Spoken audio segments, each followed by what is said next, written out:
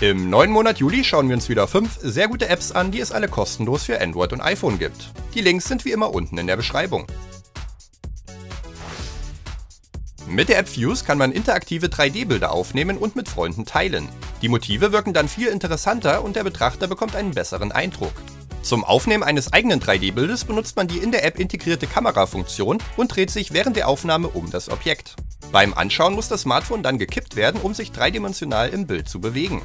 Die App ist gleichzeitig ähnlich wie Instagram ein soziales Netzwerk für 3D-Bilder, man kann aber auch seine Bilder über einen Link an Freunde verschicken, die sich das dann ohne die App herunterladen zu müssen interaktiv anschauen können.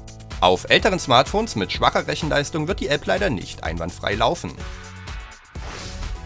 Die nächste App namens AmpMe ist dafür da, um einen lauteren und besseren Sound beim Musikhören aus euren Smartphones herauszuholen.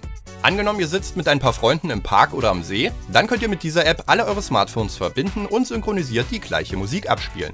Einer muss eine Party starten und Musik auswählen. Die anderen können dann da beitreten, wodurch synchronisiert die gleiche Musik abgespielt wird.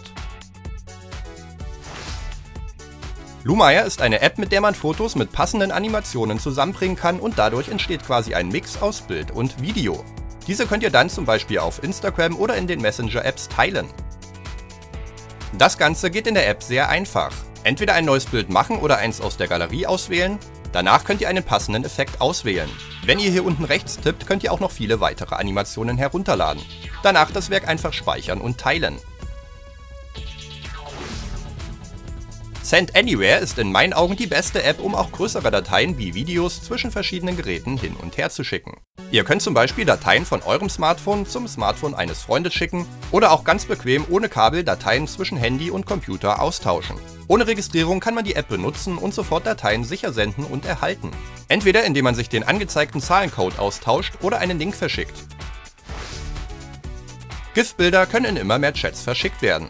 Die größte und beste Auswahl an Bewegtbildern findet ihr in der App Jiffy, wo ihr nach den beliebtesten, nach verschiedenen Kategorien und auch nach einem Suchbegriff das passende GIF-Bild finden und anschließend gleich teilen könnt.